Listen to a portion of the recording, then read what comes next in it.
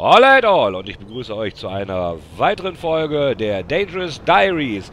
Ja, das ist ja meine Sniper-Reihe, die ich mal angefangen habe, die ja damals vor 10 Monaten gestoppt ist. Da kam das letzte Video. Jetzt habe ich mir halt überlegt, äh, das Spiel eh in drei Wochen rum ist, kann ich ja mit dem Sniper vielleicht auch noch mal ein bisschen was tun und euch da was zeigen, wie noobig ich mich da durch die Gegend bewege. Ja, der eigentliche Grundgedanke der Dangerous Diaries war ja natürlich, dass ich halt bis Level 10 jedes Gameplay, also jede Runde, die ich mit dem Sniper spiele, recorde und dann halt so ein bisschen fragmentarisch äh, das Level des Snipers zeige. Aber das Ziel, äh, den jetzt noch auf 30 zu kriegen, das werde ich natürlich nicht mehr schaffen. Ja, was habe ich gemacht in der Zwischenzeit? Also ich habe äh, zwei Runden äh, vor dieser gespielt, um ein bisschen wieder reinzukommen, damit ich nicht ganz so noobig durch die Gegend renne. Und ähm, naja, wer es mitgekriegt hat, in den letzten zwei Wochen gab es ja viermal ein 10k Fundscode von EA, freundlicherweise. Und äh, da ich eh nicht so richtig weiß, was ich mit der ganzen Kohle machen soll, habe ich mir halt nochmal fünf Trainingspunkte gekauft. Ähm, wer das Beginning-Video kennt, weiß, dass ich eh schon mal 5 Punkte hatte, weil ich mir das mal so ausgerechnet hatte, dass wenn er mal Level 30 ist, 5 zusätzliche bräuchte, damit ich halt auch das Seeli-Fliegen drin habe und halt komplett alle Infanterie-Skills. Das klappt natürlich nicht. Ja, jetzt habe ich mir halt, wie gesagt, nochmal diese 5 Punkte gekauft. Ich habe jetzt insgesamt 10 zusätzliche Punkte. Hier in dem Video ist er jetzt Level 5, das heißt, äh, ich habe dann halt praktisch die 4 normalen plus die 10 zusätzlichen. Das heißt, ich stehe jetzt praktisch also so da, als wenn ich jetzt ähm, Level 15 wäre. Ähm, was mir vielleicht einen kleinen Vorteil verschafft, vielleicht auch nicht, aber ihr könnt es ja im Laufe des Gameplays selber sehen, ne, wie intelligent oder unintelligent ich mich dabei anstelle. Aber das überlasse ich, wie gesagt, auf jeden Fall euch. Ja, ich habe auch gedacht, äh, bevor ich jetzt diese Gameplays einfach wieder so kommentiere, wie ich das vorher gemacht habe, also ja, wir starten jetzt hier, laufe von A nach B, oh, da habe ich mal einen gekriegt und huhuhu, ne, ähm, habe ich gedacht, vielleicht werde ich äh, in den Videos, keine Ahnung, wie viel ich jetzt in den drei Wochen noch machen werde, ähm, da denke ich, äh, hoffe ich ein bisschen auf euren Input, ähm, das halt, wie gesagt, nicht so einfach flap kommentieren, ähm, sondern werde vielleicht ein bisschen darüber lamentieren, äh, wie war Play for Free, ähm, was waren die Stärken, was waren die Schwächen, ähm, vielleicht ein Thema, was ihr in den Comments vorschlagen könnt, ob ihr das überhaupt gut findet, ne, wenn ich da so ein bisschen drüber schwadroniere, ne, wie ich jetzt diese ganzen dreieinhalb Jahre, die ich das Spiel gespielt habe, empfunden habe, äh, vielleicht wie EA sich da so angestellt hat. Vielleicht auch ein Dual-Commentary mit äh, einem zweiten, äh, der da vielleicht nochmal Bock drauf hat. Äh, ich kenne ja so ein paar Leute, die das Spiel auch schon sehr lange gespielt haben. Aber wie gesagt, äh, da wäre ich halt ganz froh, wenn ihr da irgendwie unten in die Commentaries äh, was posten könntet, ob ihr das gut findet.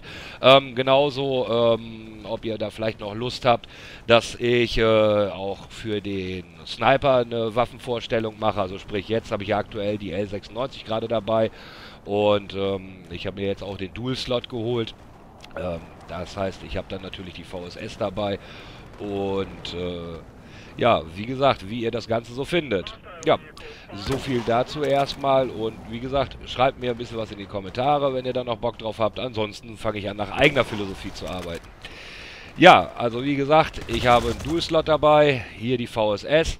Da habe ich jetzt auch mal gerade zwei umgebrezelt, die da hoch wollten. Also im Nahkampf ist die eigentlich ganz nett. Und für den Long Range habe ich immer noch die L96 dabei, weil mit der Waffe habe ich einfach mal angefangen. Wollte aber auch wechseln. Ich habe halt noch so ein paar andere Waffen, die ich benutzen könnte. M24 Gold, die SV98 sowieso. Und äh, was habe ich denn noch im Repertoire? Ja, die M110 habe ich mir mal zugelegt, die SKS. Könnt ihr auch gerne in die Kommentare schreiben, wo ihr Bock drauf hättet, was ich mal spielen soll. Aber wie gesagt, das überlasse ich euch.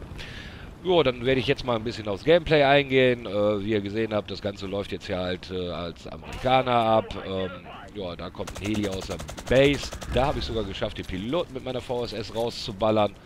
Ähm, die Transparenz, was ich da gerade lesen musste, das habe ich natürlich nicht so ganz verstanden. Da macht sich ein Gegner jetzt auf dem Weg von der Basis nach So wie es aussieht. Den wollen wir mal gerade tracen. Vielleicht ist der freundliche Inji dabei, der das, sich des Problems mal annimmt. Und, ne, wie ich gerade sehe, fährt er E nach D hoch und ist da jetzt gerade ausgestiegen. Dann wollen wir mal einen Pokémon-Ball schmeißen und dann mal gucken, ob der da irgendwo rumeiert. Aber wenn ich das richtig sehe, ist er hier bei D schon von einem Teammate umgesetzt worden. Das heißt, Moment mal, irgendwie die Flagge ist ein Stück nach unten gegangen, sie geht nicht rauf. Oh, da schießt der auf mich. Schnell mal eine Spritze und da kommt der Freund hoch und dann hauen wir den mit der 93 eher um. So, dann ist hier auch gerade ein bisschen Frieden. Na, dann gucken wir mal oben, ob da irgendwas hier unten noch rumstreunert. Nee, das tut's nicht. Da sehen wir wieder den feindlichen Kampfheli aus der Russenbasis kommen. Okay, da geht's also so auch nicht weiter. Verdammt, da habe ich von dem Heli schon gleich wieder einen verbraten gekriegt. Das ist ja auch mal wieder klasse hier. Hm, jo, dann gehen wir mal wieder ein bisschen was hoch, ne, weil als Sniper-Nahkampf ist ja immer doof, obwohl ich die VSS dabei habe. Moment mal, da hinten auf dem Hotel, ne, da könnte wer oder was sein, das muss ich mir mal ein bisschen angucken. Und zwar schauen wir, äh, ne, gespottet kriege ich nichts, da kommt, ja, das war ein Versuch wert. Vielleicht hätte ich ja auch den Fahrer treffen können, hätte aber nicht sollen sein. Ein böser Panzer kommt da auch schon wieder hochgeeiert. Und doch, da oben läuft doch einer rum. Ist das einer von uns oder ein Gegner? Gucken. Na, ist doch einer von uns. Okay, also nicht. Ui, die Granate ist dicht an mir vorbeigezischt. Tracen wir mal eben den Tank. Ja, da ist schon wieder der feindliche Kampfheli, der böse, böse Kampfheli. Von wo werde ich denn jetzt hier verdammt noch eins angeschossen? Ähm, ja, habe ich so nicht rausgefunden. Ich lebe aber noch, also von daher alles cool. Äh, da hinten sehe ich einen Sniper und äh, jetzt ist der hinterm Stein verschwunden. Aber vielleicht lugt der gleich nochmal hervor. Dann tracen wir mal gerade den Kampfheli. Der ist auch sauber runtergeschossen worden. So, jetzt gucken wir nochmal nach dem Sniper da hinten. Wie sieht das aus? Ist der noch da? Ist der nicht da? Hm, Fragen über Fragen und kaum eine Antwort. Oh, hier oben rumguffeln macht auf Dauer ja auch nicht so die Laune. Schaut, ne, also ich glaube, der Sniper ist nicht mehr da.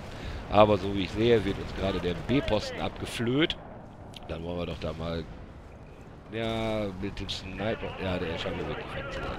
Gut, dann machen wir uns auf den Weg nach B rüber. Und dann flecken wir das mal gerade wieder um, weil A, da hängen wohl auch ein oder zwei Gegner rum. Da sehe ich einen Transportheli ankommen. Na, tracen wir den mal eben gerade. Und ach, scheiße, die Tracer-Pistole ist leer. Ähm, ne, stattdessen kommen da zwei Jungs raus. Dann nehmen wir mal gerade die VSS und den ersten und den zweiten kriegen wir und sogar den Level Up auf Rang 6. Jo, ist doch schön gelaufen bisher, finde ich. Ähm, jo, hier scheint so jetzt nichts mehr zu sein. Da können wir mal in Ruhe alles nachladen. Munition gibt es hier wahrscheinlich nicht für mich. Und dann kicken wir einfach nochmal ja, Richtung A. Ach, eigentlich weniger. Da kommt doch jetzt einer im Gas an und ja, supi, immer diese Gascamperei. Ah, wenn ich nichts kann, dann nube ich halt mit Fahrzeugen um. Naja, aber das muss ja jeder selber wissen.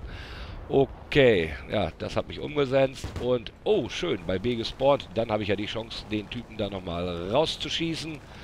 Ähm, nee, doch nicht. Da war der Inji schneller, der hat ihm halt eine RPG hinten reingedrückt.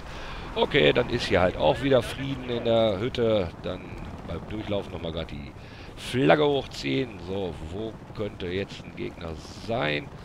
Renne ich da links hoch? Ja, machen wir das mal ein bisschen von der Seite, um den Gegner zu umrunden. Der Satzscan, was gibt der so her? Okay, da ist dann eher rechts was zu sehen. Ah, da laufen wir mal eine etwas größere Runde gerade und dann schauen wir, ob wir da noch einen vorne vorweg kriegen. Hier war doch gerade ein Fahrzeug oder sowas. Ähm, nee, aber da scheint gerade einer gegenüber bei D reingerannt zu sein. Dem werfen wir mal noch eine Nate hinterher. Ähm, ja, sauber abgeprallt, aber die Runde ist auch rum. Ja, wie gesagt, ne, was ich halt in dem Video jetzt angeregt habe, schreibt es in die Kommentare, wenn ihr da Bock drauf habt. Ansonsten mache ich die Danger Diaries so ein bisschen nach eigener Fasson. Ja, aber für die dritte Runde, denke ich mal, geht das auch wieder. Und ähm, ja, wenn es gefallen hat, lasst ein Like da oder abonniert mich. Und wir sehen uns dann beim nächsten Mal wieder. Ciao, ciao, bye, bye, see you later, Alligator.